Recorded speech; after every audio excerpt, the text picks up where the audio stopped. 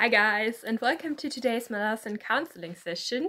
Yes, my face is back as you can see and I'm also wearing my um, Unabridged Burners shirt um, that I got from Iskar. So thanks again man, you're the best. Um, and today I am also answering Iskar's challenge to talk about a female character uh, from Malazan and now I can already see the people saying, um, Counselor, you're so predictable. Of course you had to choose a Tiste Andii character, didn't you? Um, because the character I want to talk about today is Korlat. Um, however, I um, decided to go with my gut feeling um, concerning this and um, spontaneously, I would say that my two uh, favorite female characters are Korlat and Samar. And now um, Ruthann Bad has already done a video about uh, Samar and Karsa, so I guess I kind of had to go with Korlat. and um, while I was gathering notes for this video, I started to think more and more about the Tiste Andii as a whole. Um, because if you want to talk about a character um, that is so intertwined with the people, then you can't really do that without taking into account the background of those people. So um, I felt like I had to discuss my uh, view on the mentality of the Tiste Andii first, and that's how my audio essay on the Tiste Andii and depression originated. So if you haven't watched that video or rather listened to it, then I recommend that you do so because I uh, feel like um, it's an important backdrop to understand where I'm coming from with this video about Korlat today. We are introduced to Korlat in Gardens of the Moon and uh, while this is only a very short scene, it is important because it sets up her character really well. And now, if I was asked to um, define in one sentence what Korlat's storyline is about, then I would say um, it is a cycle of life and death that is fueled by hope. And uh, hopefully, soon you will understand what I mean by that. So, um, we get to know Korlat for the first time at the end of Gardens of the Moon when she and the other Tiste Andii um, pursue uh, Vorcan and Rallick into the Azath house, and then Korlat says, The quest for vengeance is ended. The Azath will not be touched, for it is new, a child. And then she also says to her brother, Cherish such flaws, dear brother, for our queen's was hope, and so is mine. And so the first thing that we see her do is to decide against vengeance. And that's important because the theme of vengeance is intertwined with the history of the Tiste Andii. And it is also the theme of vengeance turning to grief and the other way around. So it starts out with um, Rake swearing vengeance in um, Forge of Darkness. Um, and it starts with vengeance and it ends with grief. So um, when she actually does go on a quest of vengeance against Kallor, it does end with her brother's death. So we have grief again. But yeah. Um, and then also she says that her flaw is hope. And that is important because it sets her apart from the Tiste Andii, um, who are in many ways defined by their melancholia and um, their nemesis, despair. So um, it's important to keep those two aspects in mind. Now, um, we get to know Korlat a lot better in Memories of Ice, where she's also, yeah, probably almost a main character, I would say. And uh, from the beginning, she is on the side of the Mhybe and Silver Fox, and again, she is supporting a child, like she did with the Azath uh, that was still young. And I think that is quite interesting if you consider her own backstory, because um, in Fall of Light we learn that Korlat was actually the result of a terrible atrocity and that of Draconus basically, yeah, doing, or Draconus finished rather. It's, it's a little weird that scene basically pulling out those babies from Sandalath, and then one baby is Korlat. Um, and then what is also interesting is that Sandalath then says that baby is full of love, and Korlat kind of is. I, I mean, she is a, a, kind and nice person, but uh, then Sandalath, of course, because of the trauma that she experienced, um, isn't able to accept her child, and she never really accepted her as, as her daughter. So Korlat is still able to support a child despite that personal background. And um, then she is immediately drawn to Whiskey Jack, um, which tells us that she's still able to see the appeal of a mortal. And what connects those two characters from the beginning is that Whiskey Jack is also strictly opposed to a child being harmed. So they are immediately connected by their shared interests in Silver Fox's um, well being. Um, is also soon um, put into contrast with the other Tiste Andii as she walks through, uh, through the Tiste Andii camp uh, with the Mhybe. Um, and that is where the Andii are described as ghosts or as spectral. They seem indifferent and lost to apathy in comparison, and Korlat seems much more alive. Um, then she also sees no uh, shame in Crone's origin, and she's even looking forward to uh, meeting Quick Ben, even though they clashed. So, again, those are points that tell us about her character. Um, and she also doesn't seem to be completely taken by indifference when it comes to getting uh, to know other people because she seems to have a friendship with the Mhybe and she immediately um, yeah starts a relationship or well not not quite a romantic relationship already but she's immediately drawn to whiskey jack and so she seems to be interested in contact and relationships and then when the Mhybe is um, despairing more and more and uh, wants to end her life, then um, Korlat says to her, I shall not abandon you to despair. So she sets out to help somebody else against her own nemesis. And um, she stays compassionate towards the Mhybe, even though uh, the Mhybe gets more and more frustrating. And again, that's crucial because if you are dealing with somebody who is struggling, um, it's not always easy to um, stay close to that person and continue to try to help them because a person who is suffering suffering can actually lash out at you. And that's what we see with the Mhybe. Um, but Korlat stays at her side. Um, and then uh, when she starts her romantic relationship with Whiskey Jack, she says to him, I would know if you have feelings for me. And that makes it sound a little bit like an endeavor against despair. Because from her perspective, Whiskey Jack is a human. Um, he's already on the older side, which means he doesn't have that long to live anymore. So he's gonna die pretty soon. So, um, from a Tiste Andii perspective, she might say, ah, well, pursuing a relationship with him is futile because he's gonna die anyway. Um, so she could just leave and uh, stay alone. But she doesn't do that. And what is heartbreaking is that we know that that quest for companionship is doomed to fail. But even should we fail, we will know that we have lived. So um, she is basically living that motto of Rake here. Um, and then um, she also says that it is rare that a Andii is emerging into the mortal world. And she says to Whiskey Jack, Seek my heart, and you may be disappointed in what you find. And then Whiskey Jack gives her the stones that he found among uh, those fallen Tiste Andii.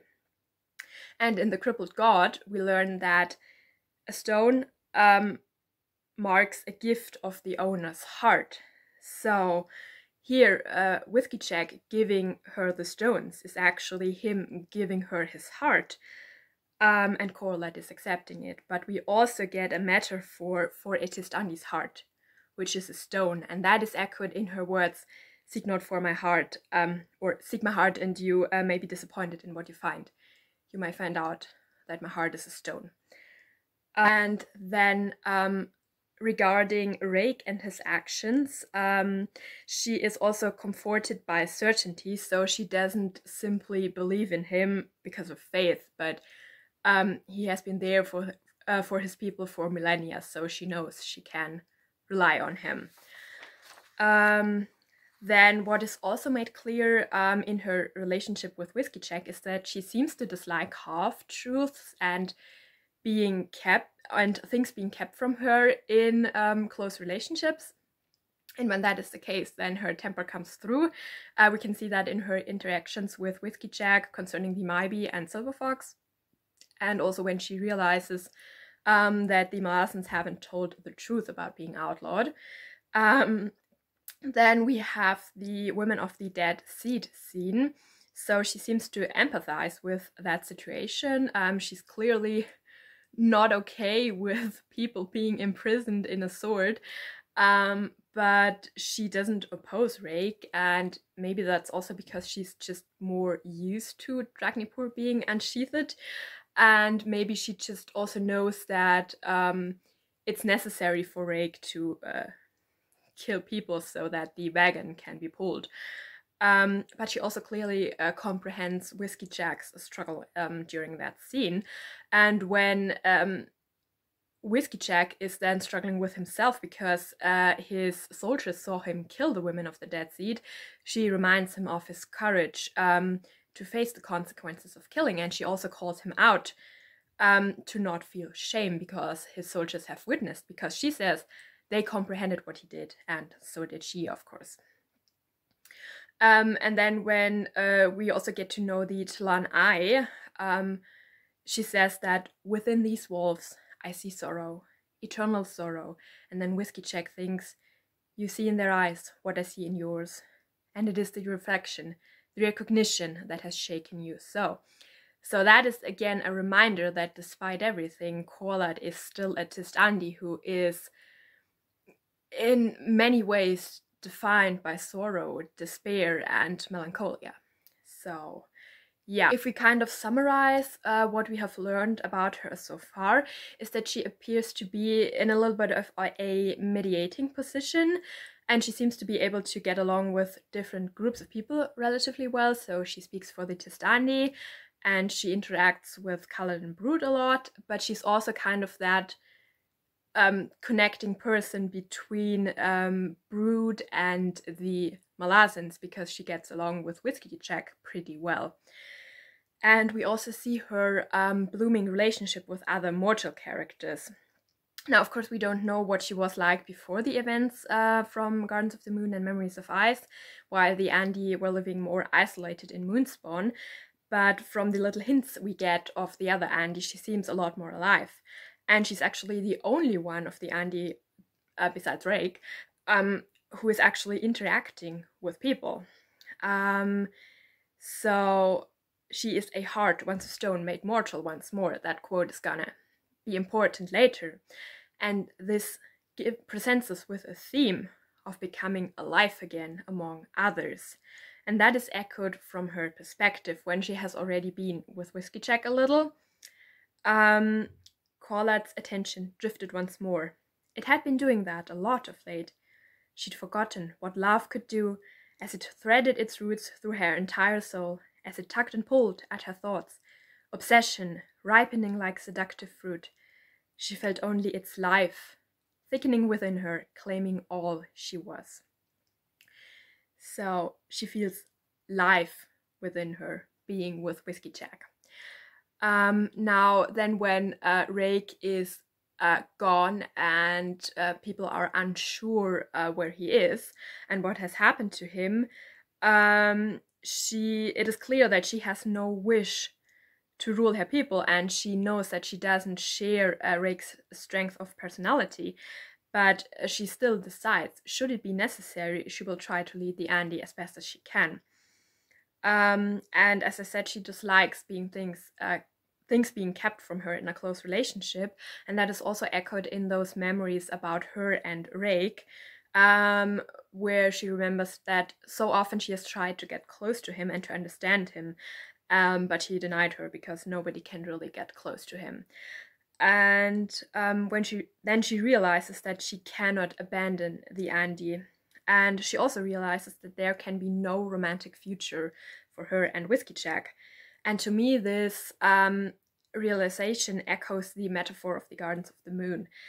And one by one, gardens died, or in Korlat's words, the world holds no paradise for you and me, dear lover.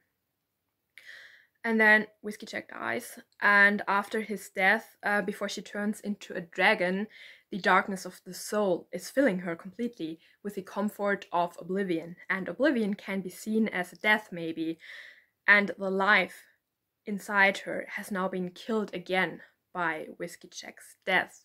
This is echoed in um, uh, The Crippled God, where she thinks that when he died, he left his own stone behind, the dull, lifeless thing that was her heart. So the heart has died. Um, and her despair is also made obvious by how far gone she seems to be with her thoughts, and she seems really distant while Brood is talking uh, to her, and she also seems to be unable to believe in Rake anymore. Um, and she seems unable to find the strength to call him. And then she and Brood are watching that storm cloud, and Brood thinks Moon's Spawn might be hiding inside it.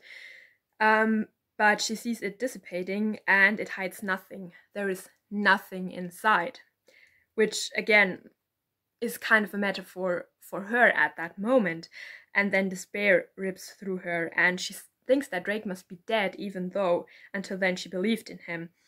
And she seems to be called back a little by the uh, mentioning of her brother, and then she joins him in his dragon form. And then, of course, the culmination of her story arc in Memories of Ice is her monologue, or those thoughts that she has under Moon's Spawn. And before that happens, um, Orfantal calls her out um, that she is just hiding from her pain in her dragon form, and that Whiskey Jack deserves more than that. And he, he reminds her that to grieve is the gift of the living, and that is a gift that so many of the Andii have lost, and that she should descend to the mortal realm. Remember, that is what she did for Whiskey Jack in the beginning. Um, so her decision to descend and face her pain can be seen as a bit of a rebirth. So when she thanks her brother, uh, she doesn't only thank him for guarding the sky for her, but also for being uh, there uh, to call her back from oblivion.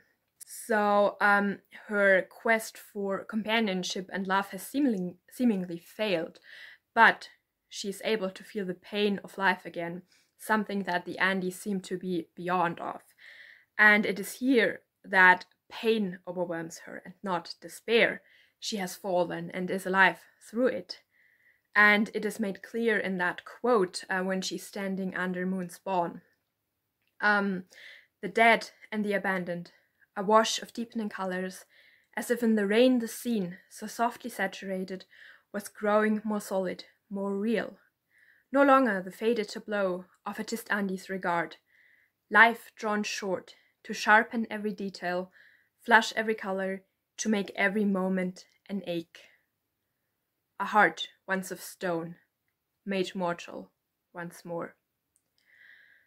And then um, her storyline continues, of course, and she still has tasks ahead of her um, the Andii have now later, we're talking about the uh, time uh, in the crippled god, of course, they have now uh, returned to Kharkanas.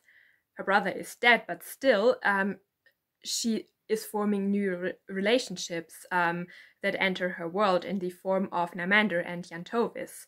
So her mother will not accept her in the end. She knows that, and she will not seek her out when Sandalath is uh, sitting on the throne of darkness.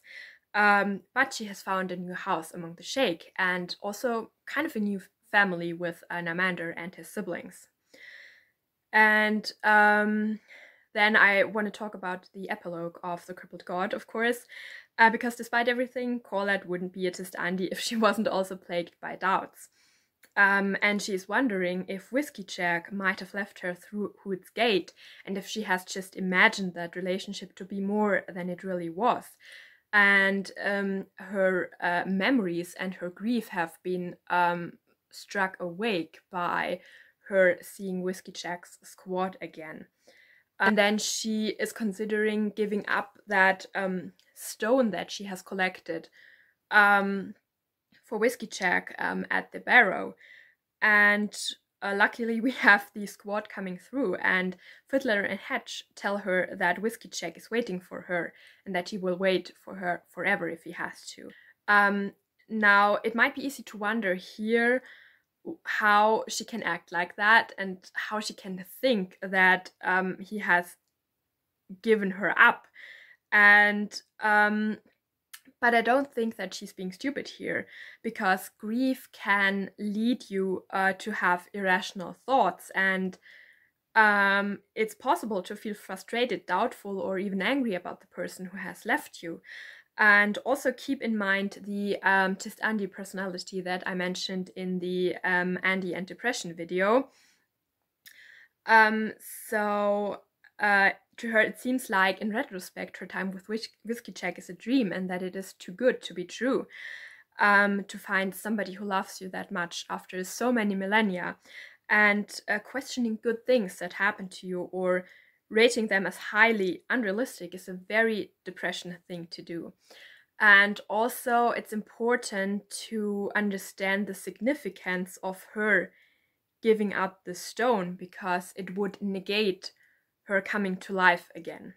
But luckily, we get sort of a happy ending because Fiddler calls Whiskey Jack back one more time, and I just love that final sentence. Um, when she reached the road and saw her beloved standing on the hill before her, Korlat broke into a run. I also had that in my most emotional scenes, and it made me so happy. And I cried happy tears when I read this for the first time, and actually while I was doing research for this video as well. Um, so in the end, of course, she is reuniting with him on the hilltop, where she will find him. If you remember Memories of Ice, where his um, corpse was also on the hilltop. And then I want to uh, bring your attention to the songs that Fiddler plays. They are called My Love Waits and Gallant's Hope. So of course, My Love Waits for you, uh, for her um, on on the hilltop, but also Gallant's Hope. Remember, her story started out with the mentioning of hope in Gardens of the Moon, and now with her running towards her lover, it ends with hope the circle is closed. And um, we even have a bigger circle um, that has been closed by Korlat, and that is when she kills Kadagar Fant um, at the Battle of Lightfall. And Forge of Darkness starts out with the words, There will be peace. However, Forge of Darkness asks the question several times Will there be peace? We don't know. How will it end? And then Kadagar actually calls upon the custom of hostage, which we know from Kharkanas. But Korlat denies him, and then she confirms, There will be peace. On behalf of the Tiste Andii, welcome to darkness. Yes, this is such a major that's my girl moment, but also it means that the Tiste Andii are home now, and darkness reigns again. There is peace and the circle is closed.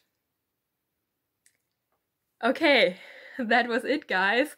That was my video about Korlat. Um, I hope you enjoyed it.